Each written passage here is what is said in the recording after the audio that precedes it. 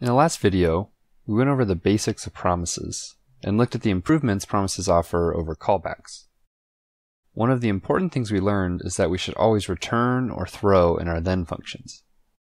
We returned a simple string before, but we can actually return new promises to really elegantly handle multiple asynchronous operations in our promise chain. Let's take a look at that in action. We're working with the GitHub APIs, which are well documented and generally pretty easy to work with. We need to make an API call, then using the response, pull out some data for another API call. Since we're working with real APIs, we'll use an actual HTTP request instead of a simulated set timeout. Let's take a quick look at our new HTTP method. We're pulling in the popular request package for Node. We still take in a URL and a method, but we need to make sure the method is lowercase. This is because the methods on request are lowercase, and here on line 14, we're calling the request method. It would be like having request.get here, except we allow for more methods. Now, there are some flaws with this code and it doesn't fully support all methods, but we're focusing on promises, so we'll ignore those details for now. We return a new promise, and inside we make our request. The request has a callback with an error and a body. So if there's an error, we reject the promise with the error. If it has a body, we resolve the promise with the body. We also parse the body because it will come back stringified. Now let's use it and see how to execute multiple asynchronous calls using one promise chain. So we have our basic call to get a list of GitHub users. In our then, we're expecting users as the data, so we've called the parameter users. Let's console log it to see what it is.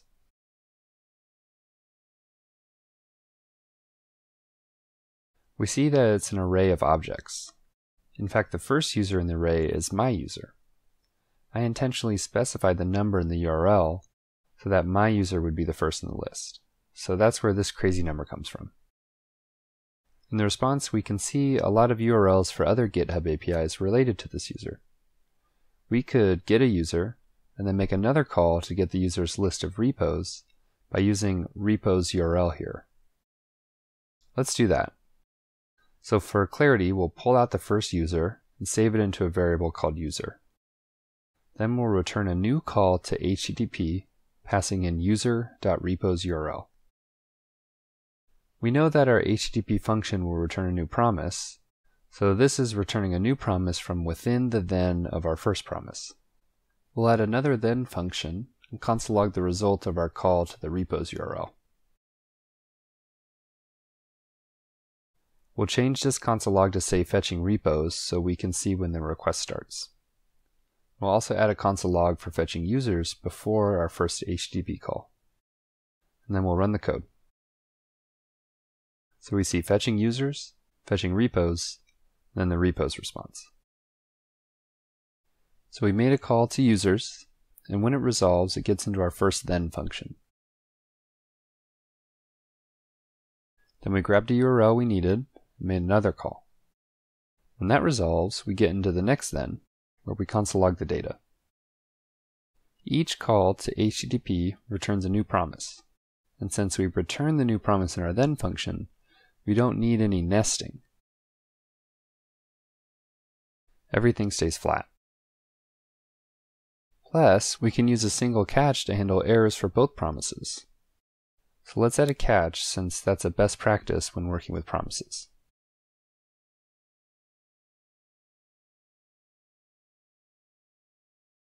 Now there is an incredible amount of flexibility here.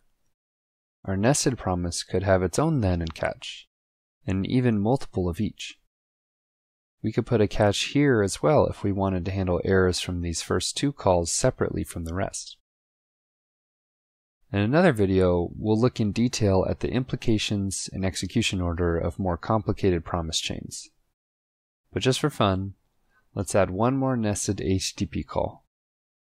We'll grab the first repo and make a call to get the languages used in that repo with the language URL field.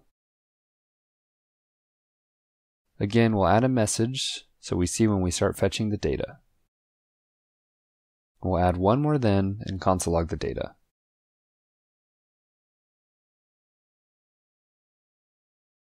Now let's run it. So let's recap.